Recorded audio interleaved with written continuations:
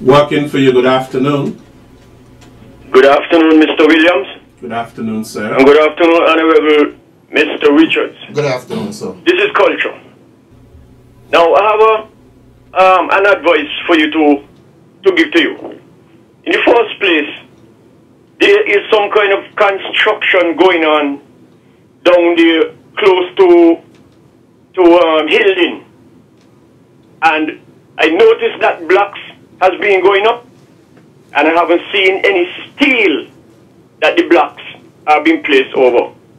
So I would like you to look into that for us, please, because some years ago, some buildings were going up down at camps, and there were no steel in those buildings, and they had to be stopped, and that problem was rectified. So please look into that.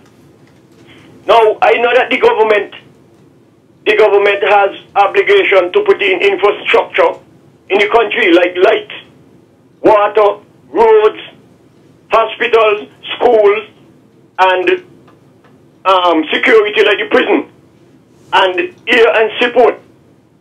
But now I would like to know, suppose I happen to go to St. Martin to get a prosthetic leg, and I'm down there, and I want to come, is it the government obligation to send a ticket for me to bring me back here? I don't think so, but I would like to hear the answer from you.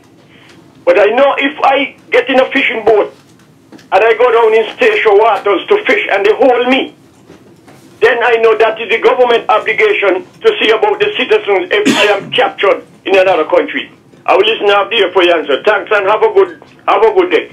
The, God is blessing unity government and he will continue to make you all strive. Thank you very much. With regards to the first question that you asked about the development taking place in the area of Hilding, that is a matter which would have to be brought to the attention of the appropriate authorities at physical planning uh, before anyone embarks upon a construction project. They should have building plans approved by physical planning. Your second question about the person who supposedly traveled overseas to get a prosthetic leg and cannot return to the Federation. No, the government is not obligated to assist that person in returning to the Federation.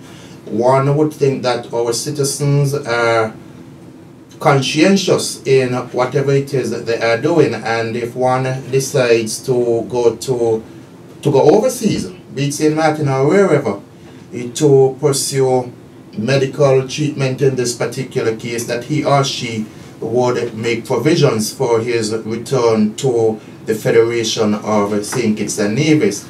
Indeed, yes, from time to time the government would provide persons with assistance taking into consideration the circumstances, but it is not that the government is obligated to do so.